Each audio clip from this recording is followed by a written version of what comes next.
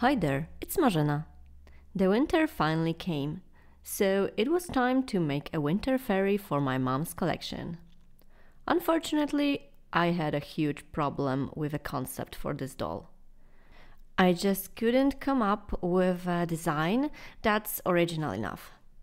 I even told my mom that I won't be able to make this doll because I simply don't have a good idea for her. And my mom was like, Do you want to build a snowman? And boom! Thank you, mom. So let's make a snow fairy based on a snowman. When I'm thinking snowman, I see round shapes. So once again, I decided to make a hybrid with Monster High head and OMG's body. For the head donor, I chose this armless Draculaura from my stock box. Okay, let's prepare those ladies. First step, cutting the hair as short as possible.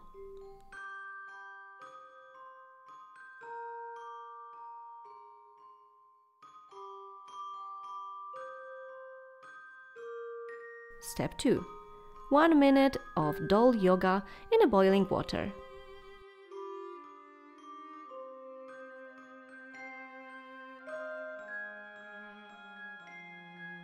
Step 3.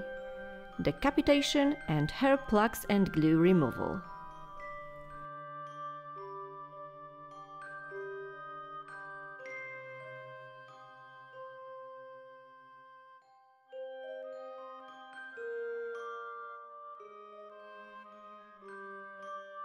Step 4. Removing their factory face-ups with 100% acetone.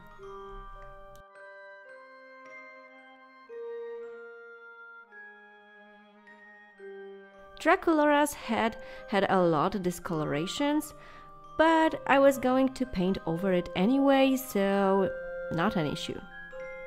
The original proportions were, of course, not to my liking, so I used a slow shrinking method on the head twice to make those proportions a little more accurate.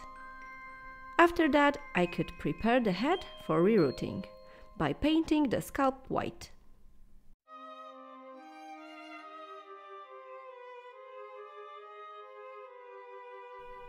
I prepared some acrylic yarn hair in white with just teeny tiny hints of blue. To easily reroute a shrunken head, you just need to punch new holes for your hair plugs. Sounds time consuming, but it is not that bad. I really enjoy this process. And punching holes during a reroute is a small price to pay for the new and better head to body proportions. When the reroute was done, I squeezed some high-tack glue inside the head and spread it evenly with a q-tip to secure all the new hair plugs inside. After the glue dried, I widened the neck hole and trimmed the neck peg so I could finally put the head on the body.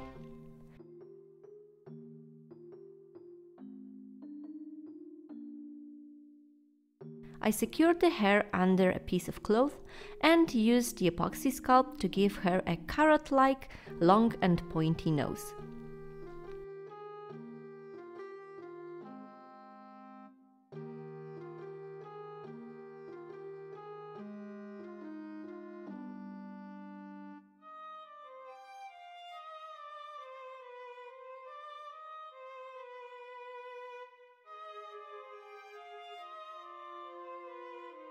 Sanded down the surface when it cured, covered the body with a plastic wrap and sprayed the head with two layers of Vallejo white primer and three layers of Mr. Super Clear.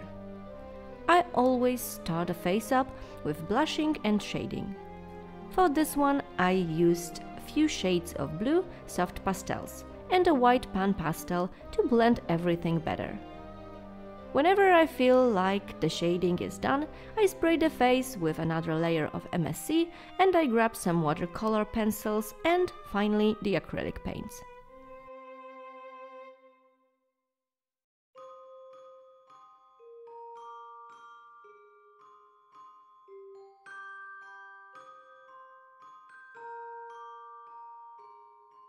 Let's talk about the concept for a moment.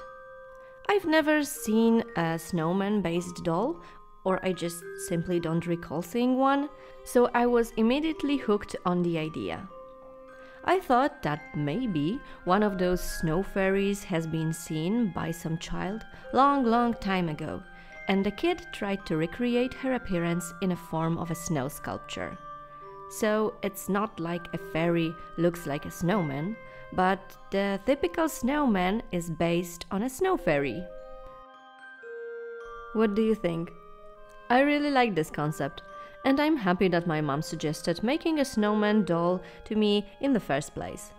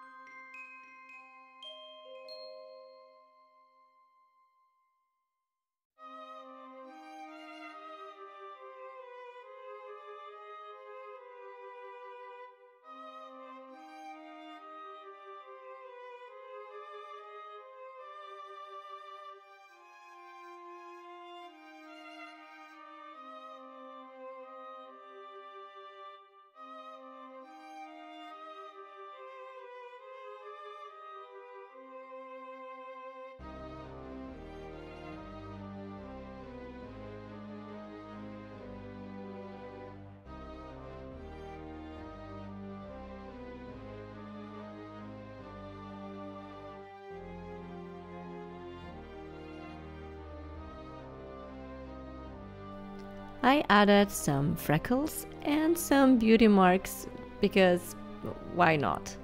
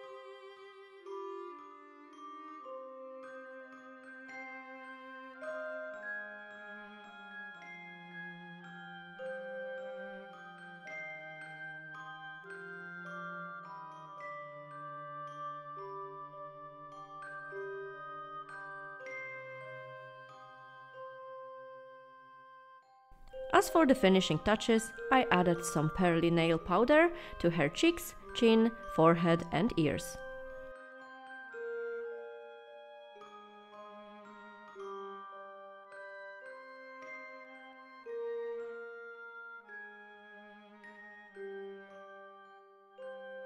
Sprayed her one last time with MSC, glossed her eyes and lips with a Liquitex gloss varnish, and the face up was done.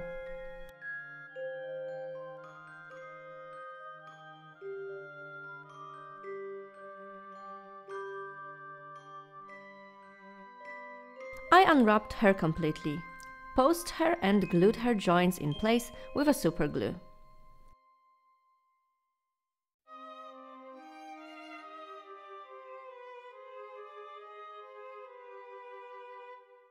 I let the glue fully dry, I covered her head with a plastic wrap, and I started with the body modifications. I mixed two part Apoxie Sculpt and I made her buttocks a little bit bigger. Yes, in that position she had a serious case of the flat butt. And I needed those round shapes, you know.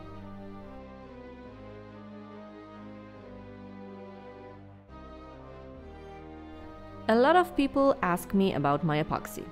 And why is it green? Well, epoxy doesn't come in grey only. I own pink and black, and I've seen orange, white, and yellow as well. So, yeah, this is still original product and it is working great. It is just pretty hard for me to get my hands on the grey one, probably because it is the most neutral color, so it's the most popular but as long as I have these ones, I'm totally fine.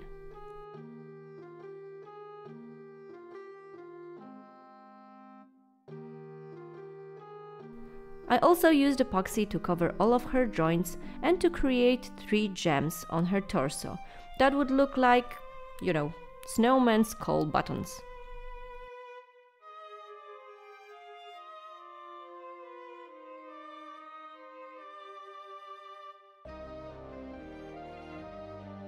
On the next morning, when epoxy was completely cured, I sanded down its surface to make the blending even smoother and to give it some tooth for the paint. I also sanded down the plastic seams on the doll's body and drilled a deep hole in her foot for the stand attachment. It is not easy to drill a hole in OMG's feet because they are made from uh, rubber, not plastic like Monster High doll's feet but it is not impossible. I needed to sharpen the end of the wire and put it on my rotary tool. And it worked in the end. I also filled those weird factory holes in her heels with teeny tiny bits of epoxy. And drilled new holes in her back for the wings, of course.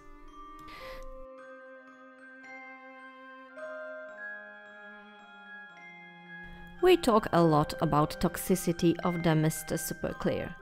But it is also important to understand that every canned varnish, paint, or primer might be devastating for your lungs.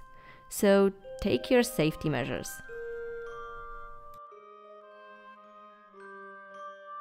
So, I use the same primer on the body as on the head and I was very surprised when, after a few days, I noticed that the plastic parts were great, but the rubbery legs and hands were all sticky.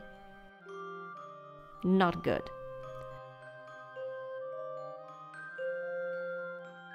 I needed to wipe the white primer from legs and hands with pure acetone and cover those parts once again by hand with regular white acrylic. After like billion layers, I sprayed it with 3 layers of MSC and blushed the body same way as I did with the face. That would be a lesson for me and you that this specific primer doesn't work well with OMG Doll's rubbery parts.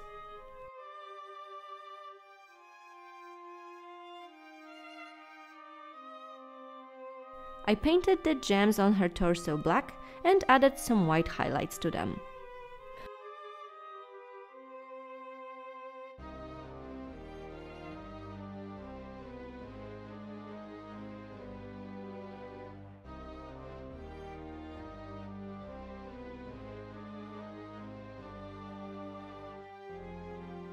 After sealing everything with MSC and unwrapping her head, I noticed that the shading on her face is a bit deeper than on her body.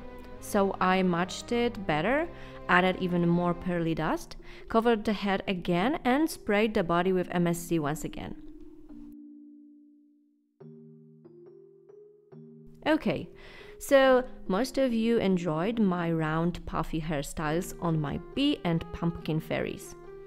I enjoyed them too. But there were always some people that were disappointed that I cut the hair shorter or even that I curled them in the first place. I understand. Long hair are simply beautiful. But you need to understand one thing I don't care. Not like I don't care what you think, no, no. I just don't care that the doll looks great with longer hair if they don't fit the concept. Those hairstyles, you may like them or not, are a huge part of the design. For example, my pumpkin fairy would be just a tiny girl sitting in a pumpkin without her pumpkin like hair. When I'm designing a concept for one of my characters, I'm trying to use elements that will create a one cohesive piece, not just a nice looking doll. And yes, this snow lady looked great with her hair long. But have you ever seen a snowman with a hairstyle like this? Round shapes on her head. That is something that I would definitely want to see in a snowman based design. So, if you are still mad at me for making those choices, maybe you will like my other dolls better. There are plenty of those with long, pretty hair as well.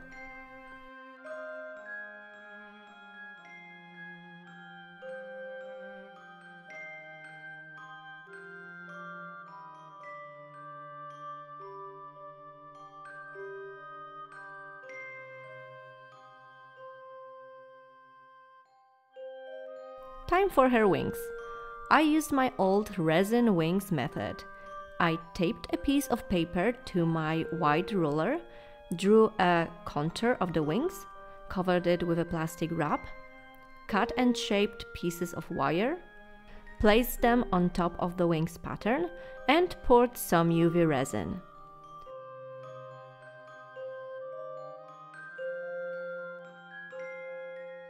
This time I also decided to experiment a little with some shiny nail powders by adding them to the resin before curing it.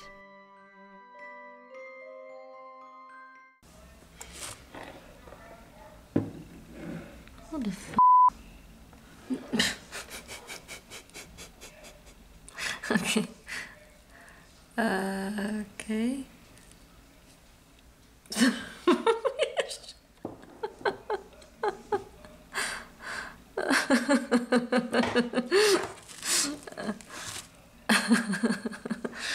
okay. With my second try, I just cured the pure resin and then I rubbed the dust into the other side of the wing. Then I put some more resin on top.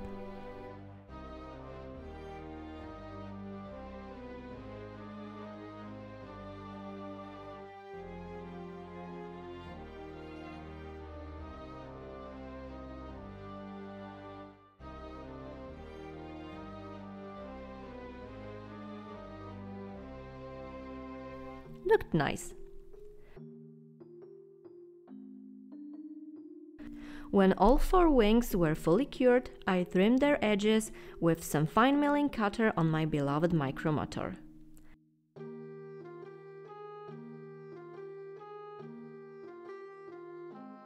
After wiping all of the dust away, I just painted some white veins with an acrylic paint and secured everything with another thin layer of resin.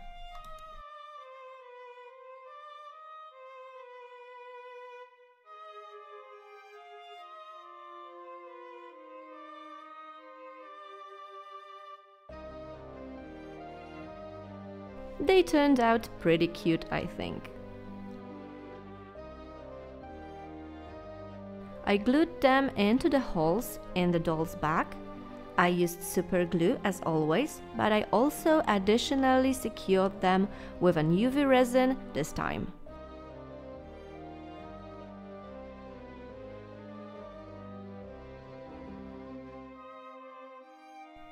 For the finishing touches, I painted her nails and toenails white and I added some gloss to her torso gems.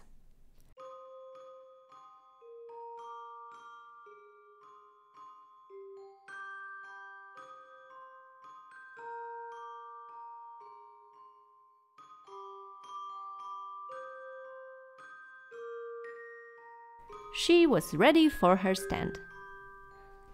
It was a simple one once again. I made a wooden cylinder, put a silver tape border around it, and poured inside a mixture of wood glue and kitty litter.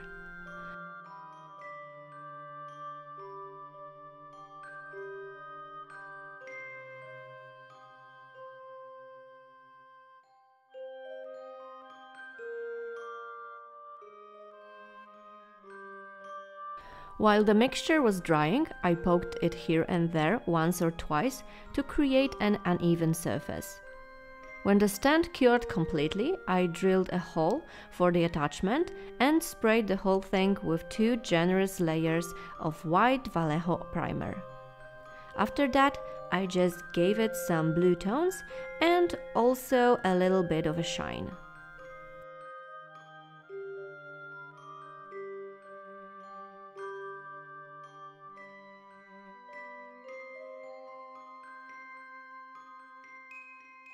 Sprayed the stand with some varnish, and after gluing the fairy to her stand, another project was done.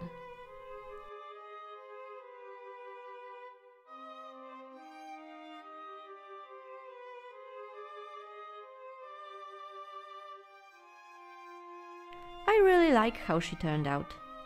This concept was simple but very cute orange pointy nose could end up a little bit weird or even creepy.